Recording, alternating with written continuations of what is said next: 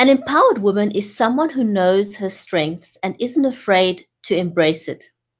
So, we invite you to join us as we introduce you to a community of South African business women who inspire change through conversations and who also wish to empower other women by sharing their stories. So, thank you for tuning into our channel. Don't go away, we'll be right back.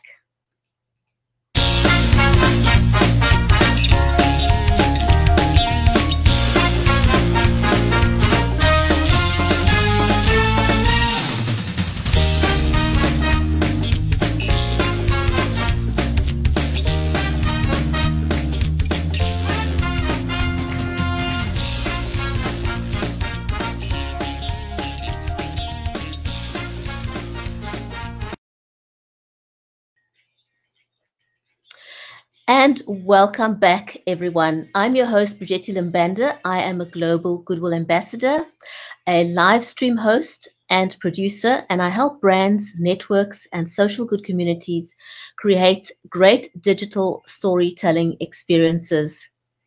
Our guest today on the CuppaChino Club social TV channel is Madelaine Gomes. Madelaine is an ex director of a top 10 company for 20 years. She's an executive business and mindset coach and a doctor in metaphysical science, as well as a public speaker of creating a mindset for the future.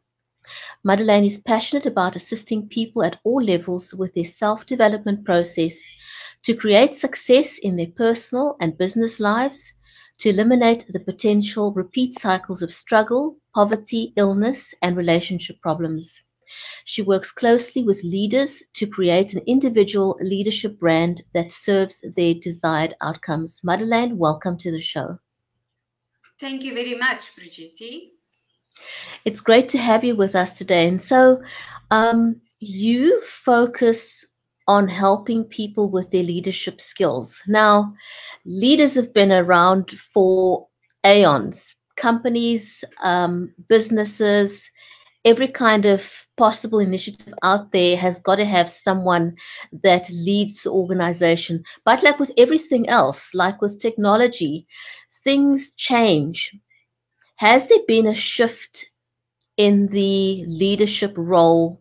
Um, you've been in business long enough to to make that judgment call. Has there been? Have you seen a shift in the way people lead, or are you seeing that there's a need for for change? Um, there's a huge outcry for leadership change and leadership behavior to change. When you, for instance, look at LinkedIn, a lot of the um, conversations is around, around leadership and uh, failed leadership, basically, or uninspired leadership. So I believe, due to the social media and people having access to information and also talking to each other more freely and openly, um, they came to realize that certain styles are not accepted anymore. And uh, they want a more humanistic approach and a more uh, approach where leaders actually unite and they're not separate from the rest. And that is what I found when I had my company for 20 years. I also dealt, I worked very, very closely. I partnered basically with CEOs and directors and I could see where they went wrong in their companies and their businesses. And in those years, it was still much of a power situation. They in power and the rest, and they separate from the staff. And that's why I could step in and be the bridge between the CEO, director, or the transport manager and the staff. And that's where my success basically came from. And that's when I started to realize the winning recipe for a company and a company's growth is happy staff after all. And they want to be inspired. They not everybody wants to be a leader. Most people are born to be followers and they're happy with that and there's nothing wrong with that. They don't want to be the head and the head gets chopped off. So they're happy to follow but they're not happy to follow fools anymore. They want to be inspired. They want to be followed by people who respect them they want to be followed by leaders who basically knows what they're doing and they earn respect basic and you know it comes from the inside a very authentic approach And that's when I realized leaders needs help. They need um, coaching and mentorship, and they also need support. They don't have emotional support. They can't speak to anybody and say, I've got an off day or I've got this situation at the office that I don't know how to handle this because who do they speak to? It's a weakness that they show if they speak to their staff about it. So it's a very lonely journey to take. And that's why I'm passionate about it. Madelaine, now it is Women's Month and the you know the focus is on women and with the CuppaChino Club's social channel we really do want to um, set out to inspire women but when we talk about um, the journey in terms of authenticity and what you were just saying is it easier or more difficult for a for a from a male or a, a, a female perspective to to lead are there certain advantages that you see to women or, or men? Is there is there a difference? There's a huge difference. Um, it's more difficult for women because we are still struggling with an old mindset that we're dealing with um, of women are um, not equal to men. And I've seen it a lot in companies in Cape Town. Um, so it, it is harder for women to, to make their mark and to basically stand out and be unique. But I believe that we need women leaders for the simple reason that people need nurturing. And we have that nurturing factor born into us. And business is not all about business and figures. That's, I believe, every leader, and that's why I'm passionate about branding a leader. I take them and take their individuality and brand that so that they know who they are and their self mastery in their skill it's not only the job skill that comes in, but it's a second skill, and that is self mastery, being able to work with people, being able to bring people, to unite people and let them follow you effectively so that your role can have an impact and also the desired results at the end of the day. So for me, I'm passionate about women leaders because they can make a huge difference by a softer approach we know all when people speak to us and they have a soft approach, um, you in, you immediately follow, you listen, you you follow the lead, and you're part of that conversation. But when a person is hard on you and there's a distance between you and that person, you will lead because it's your job, but not because you follow and you because you want to be there. I believe that we need to get today, leaders need to get people to, to follow them out of respect and because they want to. And that actually happens, it stems from their behavior towards people. So it's important to brand yourself as a leader and say, okay, who am I? What am I bringing to the table as a leader? How do I want people to perceive me? What is unique about me that will inspire others? Because ultimately as a leader you can actually change lives you know?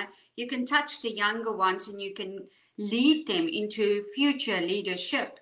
So if you see your role in the bigger game and and you see the importance of your role touching others lives while driving a successful business then i think you arrive then then you make it successfully. It is that struggle in between.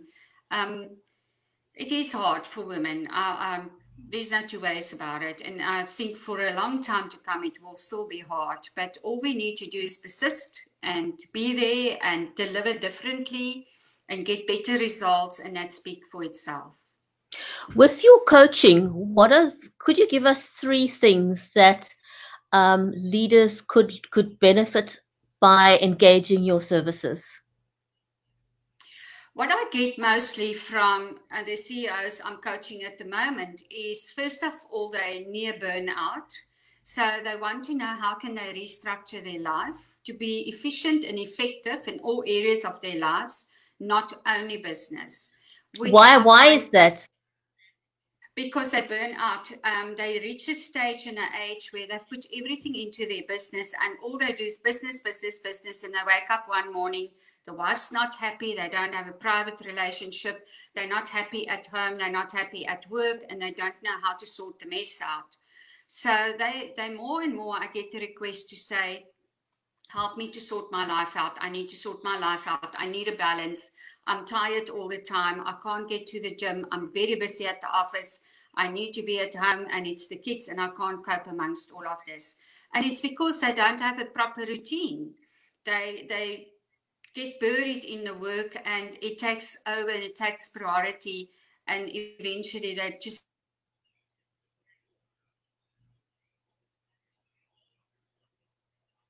I think we've lost signal with Madelaine and she's back. There we go. Yeah. yeah. So that is one main thing that they want to know about a lot. And then um, they enjoy the fact that I want to, that I go into branding and say, let's brand you as a leader so that people will recognize you as the leader for these reasons. You inspire them. You actually bring people together. You're actually the one who listens. You know, there's a, a hotel in Cape Town that I went to for a, um, a wine tasting. And I stood next to the GM, and I, I knew it's the GM because I could sense his presence because I've been with his with that level of people for so long.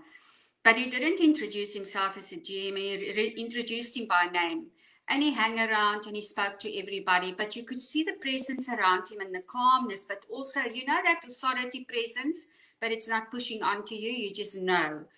And then afterwards, he wandered off, and I asked one of the waiters there, I said, Is that the GM? And he said, Yes. And I said, Tell me more about your GM. How do you feel about your GM? And he said, Most amazing man to work for. And I said, That's the first time I hear that. Tell me why. And he said, um, When we make mistakes, he doesn't criticize us. He would stand exactly like he stood next to you, having a conversation, and he would say, what do you think? How should you have done it differently to get the results that we want? He never ever criticized one staff member. He treats them with respect. He speaks to them in a different way. He approached him. Um, he doesn't let him feel inferior or be underneath him. He's part of the team. And the way he mingled that night with everybody and with his staff members, you could see there's respect but they work together as a team, they united. And that was quite um, touching for me to see him in operation and also to hear from a staff member how happy they were working for him. And this this person said to me, I never want to leave this hotel as long as he's here. He's really looking after the staff. Now, I think that for every leader is um, five star um, you know, if, if staff feels like that and they're inspired and they respect you to that level, then you achieved what you need to achieve. Then you your self mastery is absolutely hundred percent, and you're authentically a leader. And that is what I want to achieve with the people that I coach. I want to assist them to have a balance in their life, to brand themselves, to know who they are, and basically to, to bring that forth and lead from that place then it's an authentic leader. Madelaine, now for a, a woman, um, why is it more challenging for a woman to be um, a leader? And, and how can she um, up level herself to be able to serve in the boardroom along with the men? Difficult question. I've been trying to get onto boards for a long time. and not being successful. Um, it's difficult for a woman to be a leader because people don't take you seriously. And it's a natural thing. Um, they're so used to men. Men walk into a room or they say, I'm the director of the company, and nobody look, you know, it's fine. And they just plainly accepted whether his behavior is okay or his behavior is not okay.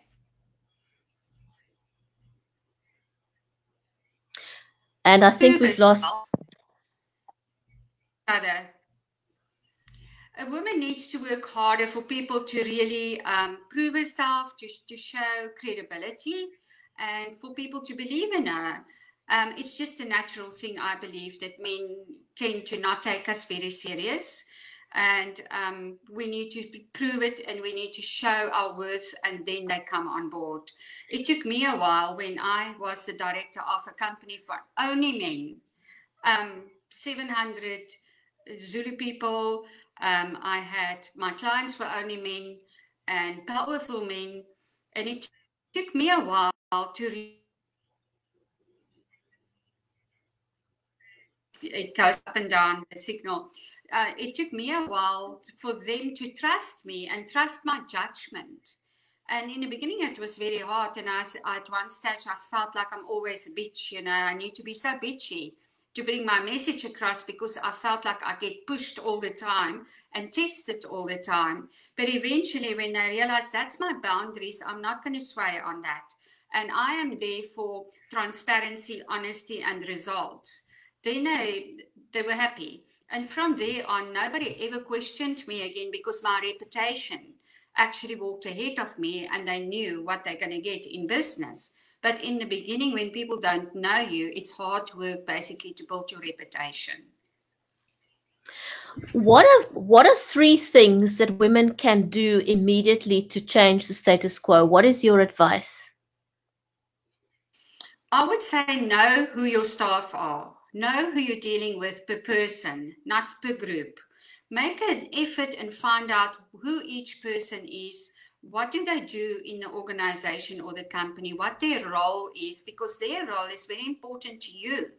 And they are either an influencer or a doer for you to succeed. So it's important to know who the people are that you're working with and who's working for you. And then the second um, part is immediately set boundaries and tell them what are your values so that they know who they're dealing with. Values are extremely important. First of all, it's your values that comes into play. And then it is the company values and how they perceive your values to fit into the company values. And then it is the staff values. And you need to marry all three. So it's important to bring the values across in the mission and the vision of the company and reintroduce it all the time, especially if you're new. Uh, that's one of my first steps is know the people, reintroduce your values, introduce the mission and vision. Don't just accept or assume because the staff's there, they know that. They don't know it. They if they don't hear it every day and see it every day, uh, they get blasé about it. And then be fair, you know, be humane towards the staff, be fair, but be firm. And that way, I believe you set the mark and you bring everybody's performance in alignment with what you want and what you want to achieve.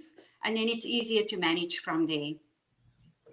Yeah, I just want to acknowledge a comment that we got from um, Tony Carr on LinkedIn.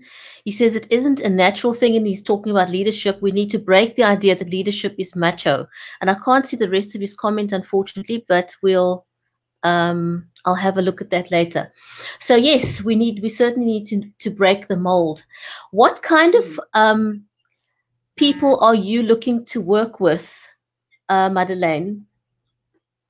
First of all, I love to work with managers who aspire to become leaders because I believe that is where our change in society is absolutely the most important um, because uh, they they managers at the moment so they become used to a authority role. They've got people working under them but they aspire to become the ceo or a director we apologize for the signal um, issues. and because of that i i like to work with them because that is the ideal time to brand them to make them aware of how to communicate with people how to give instructions how do you influence people to follow you instead of instruct people to follow you? You know be more humane in your uh, approach towards people. How do you reward people for doing well? And, rec- and uh, acknowledge their performance and their existence in your company so that they don't feel they're just a number doing just a job because otherwise that's what you're going to get um, so management is extremely important and then i enjoy working with ceos and directors because they've been there already um, they know exactly what's working for them, but they also start to realize what's not working for them. And they want to like to tweak that and change that and become, become better at what is not working for them. And what I also enjoy working with the directors and the, the CEOs with is they want to bring change into their companies. They're scared to bring change into their companies because they know ch- people hate change. They feel uneasy about change. They feel insecure about change. But sometimes when we restructure, we just restructured one company. Nobody lost their jobs, but we restructured it in such a way where three people became CEOs of one company. And um, so that the this original CEO can take a step back and start to manage it from a distance to give him a, a sort of a relief because the stress was basically killing him. And I rebalanced his life and routine for him. And we we actually passed on the, the responsibilities um, to more members. And so the members who got more responsibility are very happy because they can shoot a couple of tips that we that we've put trust in their ability and also they're now allowed to lead in their own way. And if they make a mistake so what? It can always be fixed. So the staff is more far more happier now. And the, the original ceo can take a step back. He actually went on a week's holiday. So it's beneficial to all sometimes to look at your structure, look at where your pain points are in the company and say, okay, what can we do about that? What can we do to improve it for the staff? Because automatically, when the staff's happy, figures are up, customers are happy, and it's less work for the CEO. He can focus on the growth of the company. Madelaine, how can people um, connect with you? Sorry, I couldn't hear. How can people connect with you if they would like to engage your your services? Brigitte, I can't hear. Ah, we've got a sound a sound issue. Um, let me just do an, a sound check quickly and see whether it I can improve that a little bit. Can you hear me now? Can you hear me? I can hear you. Yeah. Are you able to hear me? No? Okay, let me let me just type that um,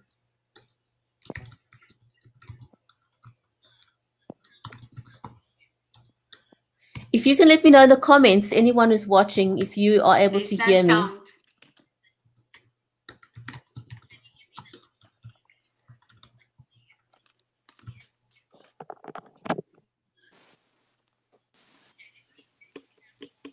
Okay, Madelaine, I'm putting the question on the banner Is there. sound.